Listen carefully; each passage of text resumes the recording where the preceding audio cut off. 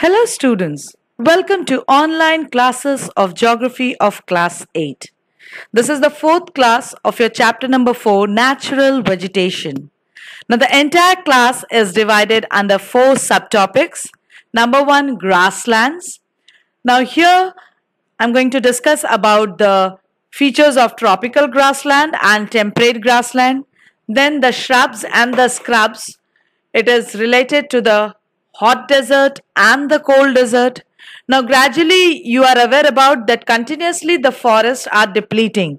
So what are the causes of depletion of the forest and how we can conserve I'm going to discuss all these topics, all these points under these topics.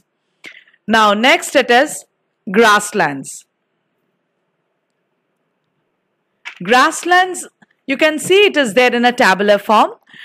Now the tropical grassland, the first one, it is a type of the vegetation and in Africa, in Venezuela, in Brazil, it is having its local name. In Africa, it is termed as savanna, llanos in Venezuela and campos in Brazil. Now actually where it is situated, we have studied about tropical rainforest or evergreen forest. So on the either side of the rainforest, these type of the this uh, tropical grasslands prevail and that is in Africa, in Brazilian highlands, in northern Australia, the tropical grasslands prevail. Now, what is the characteristics of this type of vegetation? They are having tall coarse grasses. Now here as it is near by the rainforest so they are getting comparatively high temperature and comparatively high moisture also. But it is not so very sufficient to give a dense vegetation like that of the rainforest. So here trees are small and they are scattered. But the entire area is being covered by the coarse and the tall grasses. Now grazing and uh, that is uh, it is uh, there for grazing and uh, farming activities but the grazing is not so very uh, it's not so very popular over there. Why? Because the grasses are tall and coarse. So maximum of the areas are being transformed into a farmlands. Now next it is temperate grassland. Now the temperate grasslands are also having the local names in all the continents, specifically in all the continents. Number one, prairies in North America, pampas in South America, steppes in Eurasia, veld in South Africa, downs in Australia. Now the most important thing about temperate grassland is that these are the areas which are found in the interior of the continents in the mid latitudes and here they do not receive adequate rainfall for the growth of trees. So the uh, grasses are short and scattered trees are there and these grassland are very much suitable for the cattle and sheep rearing. And some of them and some of these uh, grasslands are used uh, utilized for extensive wheat and corn farming too. Now what is it? These areas are so very important for uh, that is grazing. Why? Because one of the most important factor is that it is having a mild temperature and moderate rainfall. So both the aspects give very much support to the growth of the grasses that supports the uh, that is a cattle rearing and uh, as uh, cattle rearing is uh, been practiced or if it is not then it is used as a extensive commercial grain farming area. Now the tree species which are present over there uh, examples are there uh, willow, poplar and alder. So this is about the two types of the grasslands that prevails in the tropical and the temperate areas.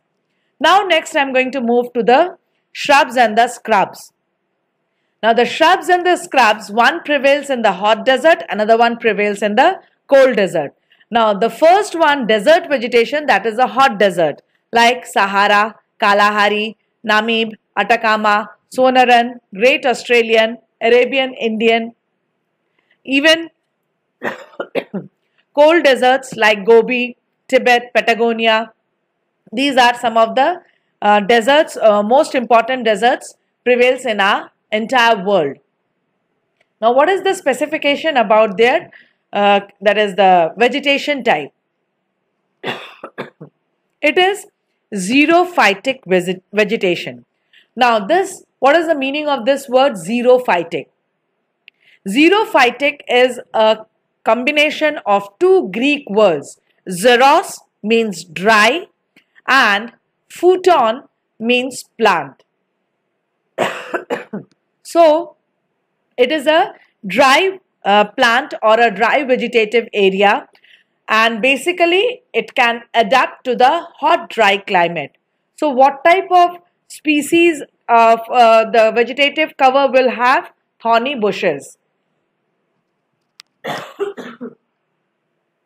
now, the trees which are what we sorry uh, there will be uh, trees also but they are like that of palms date and the cactus type of trees are there in, in this type of vegetation.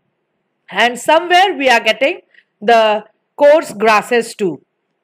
Now this vegetation type is having some more specification like they are having long roots thick barks waxy stem small leaves to reduce the rate of transpiration and in the cold deserts it is basically shrubs and the coarse grass, grasses means a tuft of grasses are there in the cold deserts areas.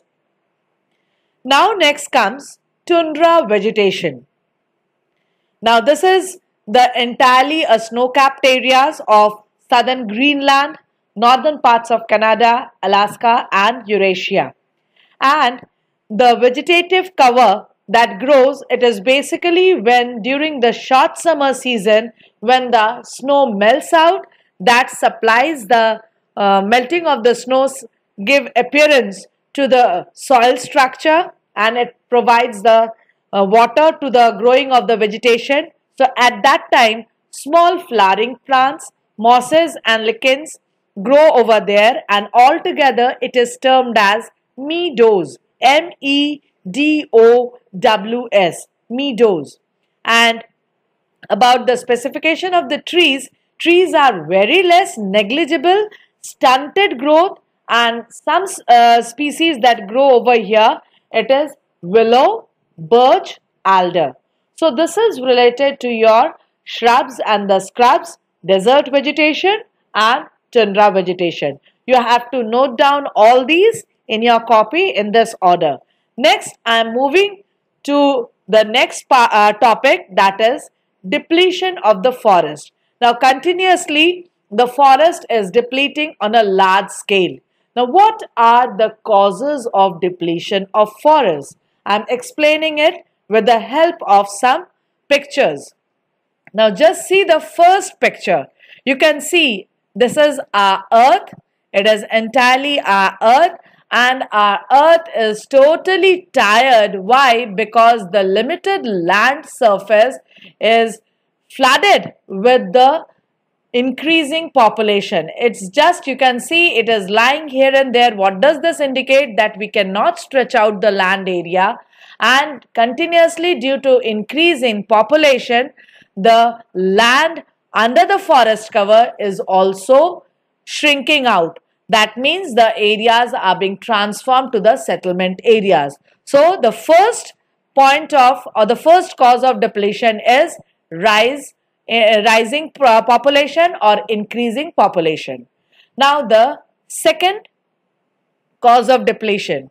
Now you can see in this picture that totally it's littered out with plastics and all the waste products surrounding the forest cover. Now maybe the, for the recreation pe uh, purpose people went for the picnic or maybe for some other reasons and they have littered the entire forest. And we all know the plastics are non-biodegradable products. So what is the resultant? They will create a damage to the roots of the trees and obviously it will spoil the forest cover. So this is the second cause of depletion. Third cause of depletion, obviously lumbering is one of the important activity. Now you can see continuously the forests have been deforested for the commercial utilization.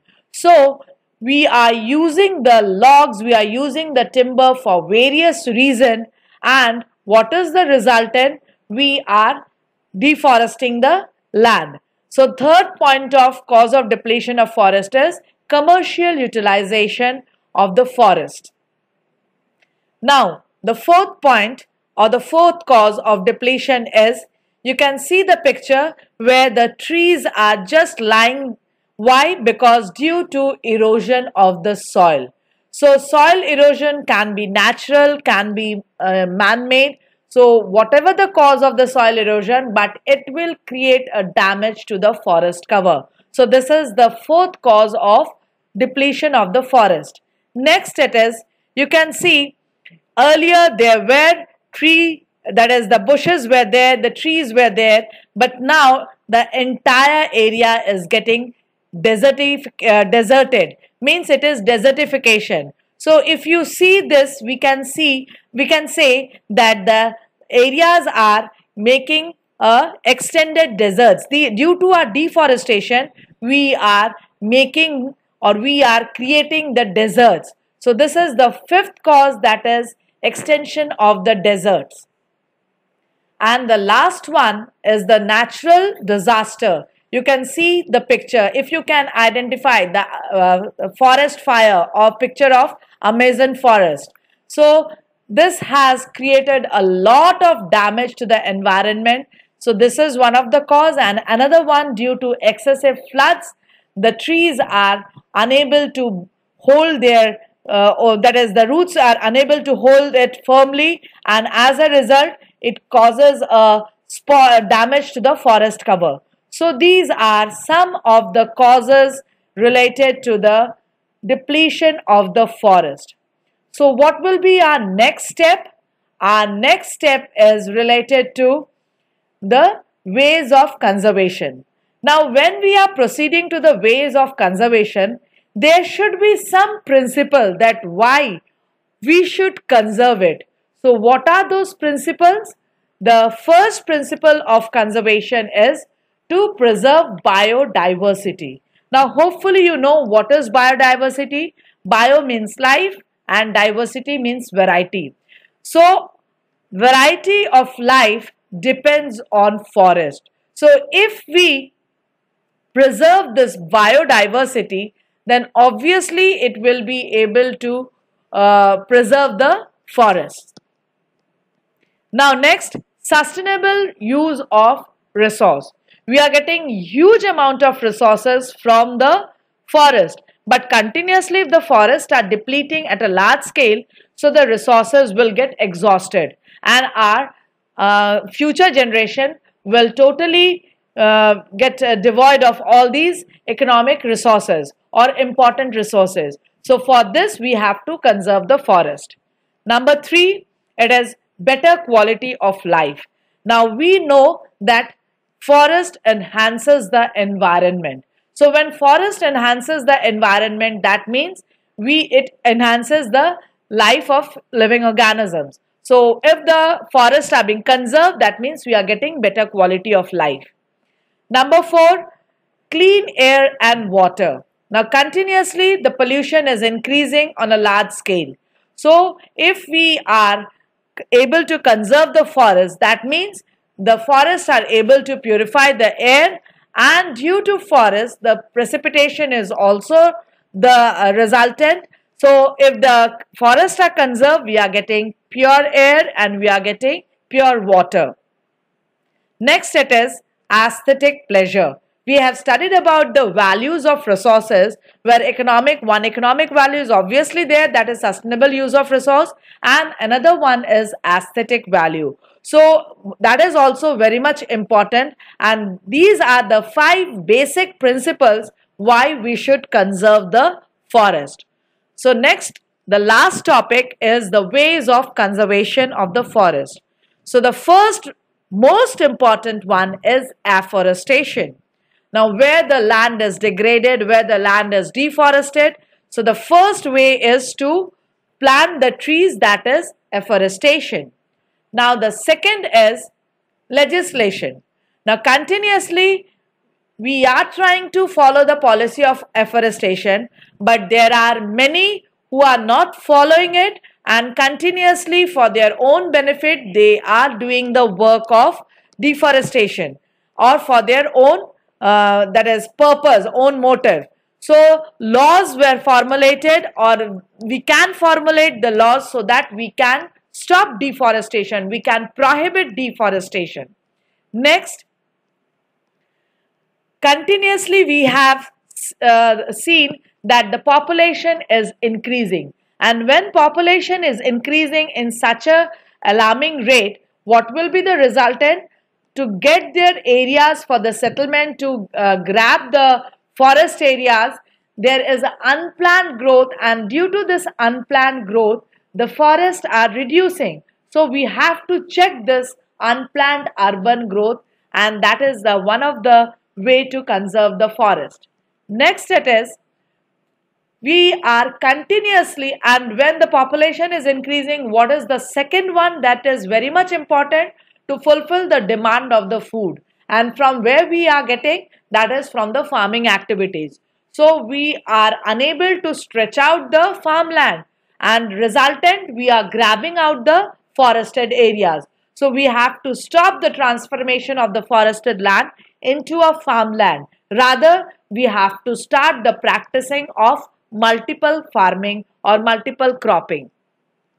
Next, in the uh, forested areas or in the uh, where the tribal society uh, resides, they are continuously they are continuously practicing uh, shifting cultivation. Hopefully, you know what is a shifting cultivation, slash and burn cultivation, shifting cultivation. Now, when tribal society lives in these forested areas, they are totally dependent upon this shifting cultivation. So it is a work of a government to give some incentives so that they can stop the uh, shifting cultivation and if the shifting cultivation is totally prohibited then the forest can be conserved. Next it is now natural disaster we cannot stop the natural disaster, but we can plan it to prevent the loss due to the natural disaster.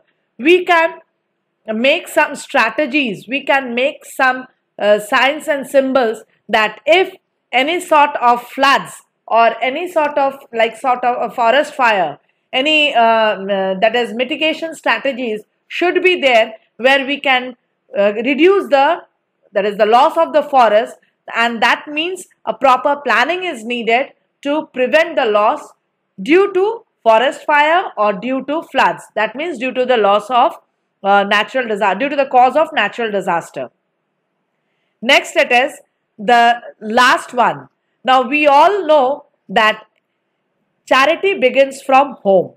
So if we start the uh, conservation level or we start the basic level from the primary level or the root level that means from the school level if the children are engaged to uh, develop or to form eco clubs to organize debates to make poster related to the conservation of the forest to uh, celebrate Van Mahotsav so that to create awareness in the society and if we started from the school level from the children because they are considered as the future citizens of the country.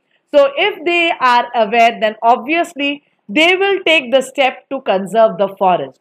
So these are the ways of conservation of the forest.